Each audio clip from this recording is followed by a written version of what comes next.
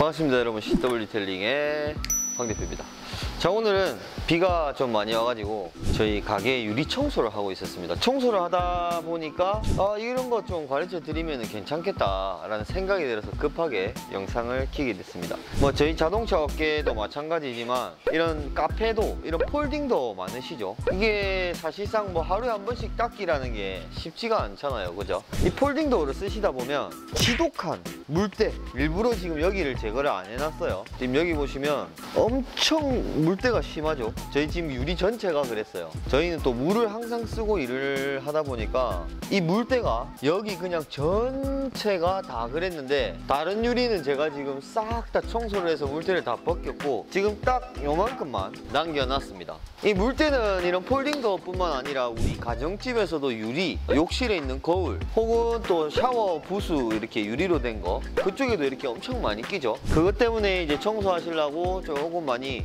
고민을 많이 하실 것 같아요. 그래서 저도 마찬가지고 이거 지우는데 이 보통 일이 아니기 때문에 많이 힘들어 했었습니다. 그래서 오늘 제가 아주 쉽고 간단하게 제거할 수 있는 방법을 가르쳐 드릴게요. 우선 이 물때를 제거를 하는데 뭐 유튜브라든지 많은 데 찾아보면 자, 첫 번째는 뭐 치약 갖고 뭐 문질러라. 뭐 두 번째는 이제 자동차 유리에 쓰는 유막 제거제를 사용을 해라. 또 세 번째는 뭐 콤파운드라든지 뭐 이렇게 사용을 하겠죠. 그래서 제가 음, 그 많은 이야기가 있는 것 중에서 치약은 저희가 지금 없기 때문에 일단은 유막 제거제 유막 제거제를 갖다가 점원 패드라고 하죠. 여기다 살짝 묻혀가지고 여기 여기 지금 물때가 많죠. 여기 한번 문질러 보겠습니다.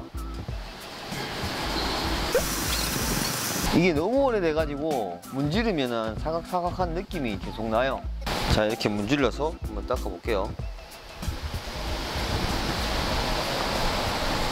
자 보시면 조금은 연해진 것 같은데 그대로 지금 남아있죠. 유막 제거제는 안 됩니다. 이런 악성은. 그리고 또 compound.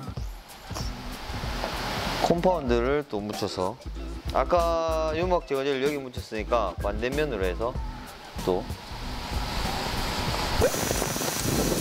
엄청 지금 빡빡하고 있는 거예요. 엄청 빡빡.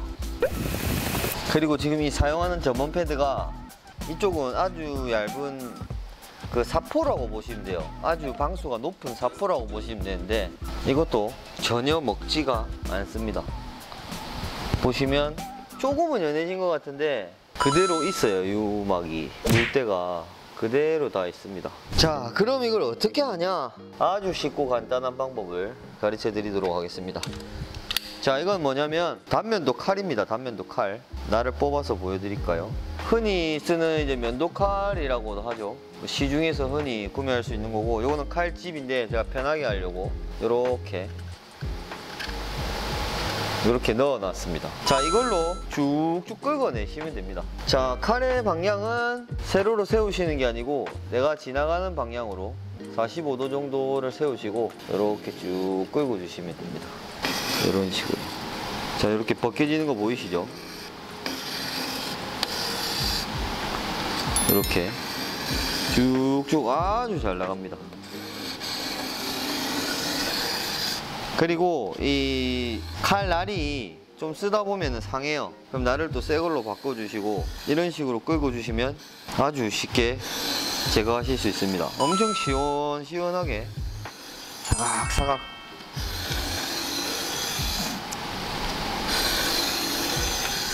이야. 자 요걸로 고민 많이 하시는데 이렇게 하시면 집에 가정에 있는 뭐 샤워 부스에 있는 유리나 이런 것들 쉽게 제거하실 수가 있습니다. 저야 이렇게 칼을 항상 쓰는 사람이기 때문에 무리 없이 하, 하는데 웬만하면 물을 한번 뿌리시고요. 하시면 조금 더 윤활력이 생겨요.